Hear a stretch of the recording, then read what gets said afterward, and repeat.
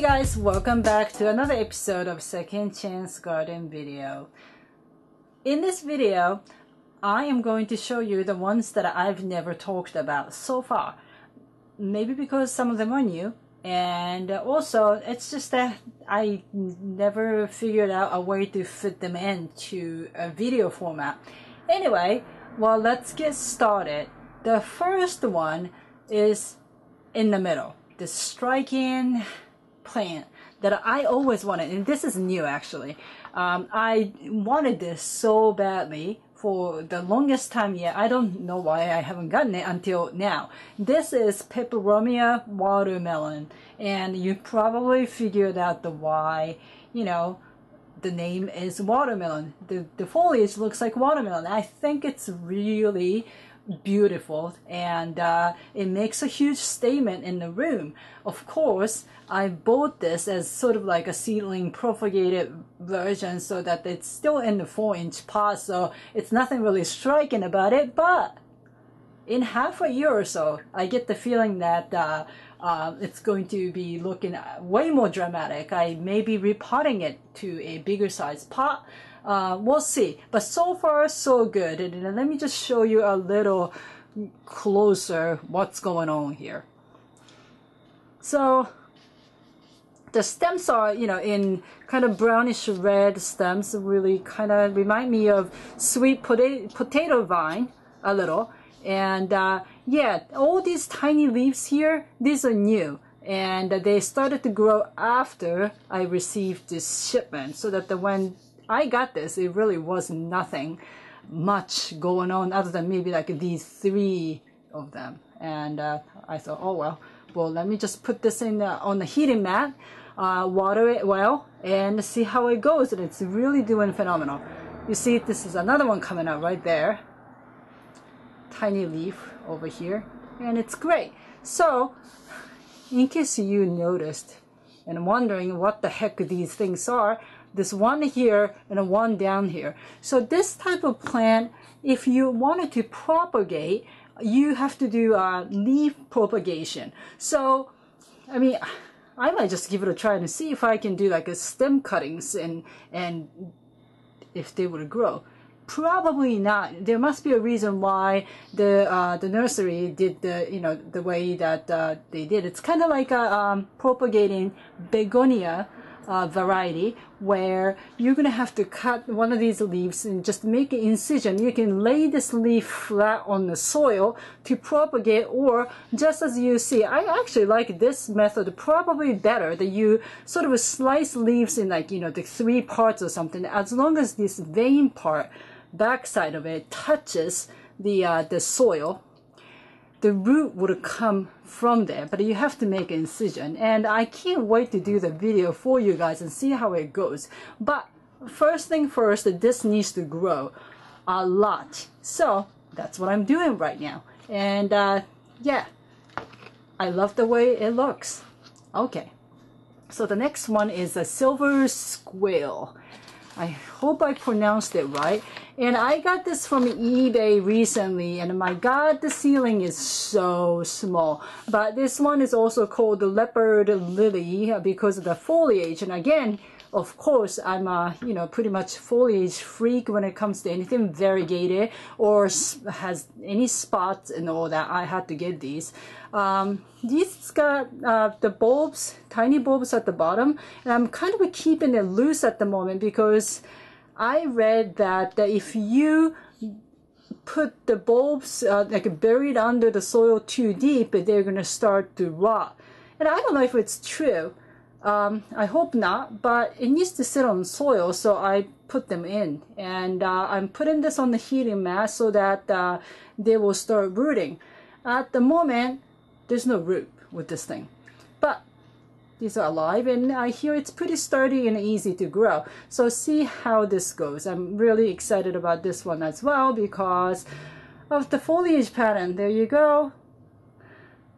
This kind of reminds me of some of the uh, the orchid uh, species. We got this type of leaves as well, and uh, yeah, I don't have any of those yet, so I can get started with this one.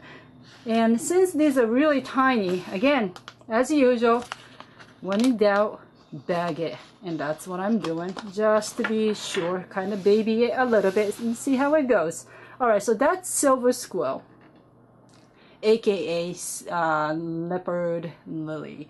All right so those are the two. Moving on to the third one. So this is the really odd one. Uh, I almost did this cuttings as a joke and firmly believe in that I can never get this to survive. Yet wow look at these so first and foremost I'm sorry well I need, I need to explain to you what this is so this is uh, Ficus benjamina and you must have seen these everywhere near like uh, you know at the florists or garden centers normally uh, you'll see these in a very mature form, like a tree form. These are trees. It's Ficus benjamina. What happened was we inherited, this office inherited a couple of ficus trees we did everything to save them, but somehow they hated our environment. So they kept dropping leaves and they were dying. Uh, they were pretty impressive, at least maybe that the, the trunk, the tree trunk had to be four inches, five inches diameter. So it really was a pretty big tree. Then I thought, well, in case I lose all these trees, maybe I will try some cuttings. But I thought, you know, these are trees really. So even if I take some young cuttings off, the chances are, you know, probably 50-50, uh, you know, they may not root. And that was about, I have to say, eight months ago. So I did these cuttings eight months ago. And uh, the older leaves, you know, these darker leaves here and there, these leaves have been there since then. And what I noticed was they weren't dropping. They weren't going, turning into brown or anything but it wasn't doing anything else. So I thought, well, look, it looks like it's still alive. And when I touch the, the stem part, it's pretty steady. So they rooted somehow. I don't know how. Like, I just really didn't expect anything from this plant. But they rooted. So I kind of left it.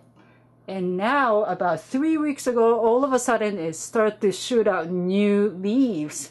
I guess it noticed that the spring is here finally. So these are tiny leaves coming out, you know, from each stem. And uh, yeah, it's doing well. Now the question is, I mean, it's for up until now it was really slow going and all of a sudden this one is like a brand new leaf and it, it, it became to this size in a matter of two weeks or so so it's kind of scary um, I don't know it's kind of like having a coffee plant or something I, I don't know what's going to happen to it. Uh, do I keep this until they become more like trees and keep repotting and repotting? I have no idea. I'm just going to wait and see how well it does in this pot for a little longer. And uh, then, yeah, I'll think about it. The one thing about this Ficus benjamina and why we failed to save those trees is that they don't like change. So they don't like windy place. They do not like too hot of a place, but they need some sunlight. Yeah, they would rather be in one spot and not getting moved around. And unfortunately, we all had different ideas in this office and people start moving things around and putting it under the direct sunlight and bringing it back inside and all that stuff. And well, I knew that wasn't going to go very well. So my fear is if I do anything with this right now, it probably will hate it so much that, you know, it doesn't matter whether it's a better soil or bigger pot, it's going to hate it. So I just wanted to keep it in this pot as for as long as I'm able. And uh, I wanted to avoid the transplanting because these are pretty sensitive and, uh, you know, I can't even believe that it these are still alive. So anyway, so that's Ficus benjamina. And the last but not least is uh, a little gift that I got. It's so weird. It's randomly I got this gift from someone. And, uh, you know, you've seen this old uh, glass orb thing that you can hang. Excuse me. that you can hang. Um, I'm sure you've seen this before, and uh, yeah, I just got this from someone. And uh, yeah, it was completely unexpected. Of course, you know, I was really interested in this uh, container. Uh, this is everywhere, you know, on Amazon to, you know, um, God knows, like West Elm website and all that stuff. And it's very popular. I've seen this in somebody else's videos as well. Um, but I kind of waited to see, you know, um, maybe they go on sale or something and I will get a few.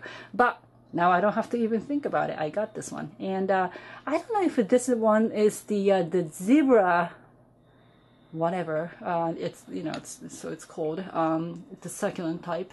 I didn't get around to look up the exact name, but I assure you that, that this is going to be just fine in this um, environment uh, so long as I, you know, water every now and then. I mean, the back side, you can see uh, there's some soil on the back right here. Um, looks a little dry, but I think it's all right. But anyway, um, yeah, these are the, uh, some new or some old plants that I never got around to talk about. And uh, as usual, I hope you enjoyed this video and please look out for more new videos from us. Thank you very much for watching.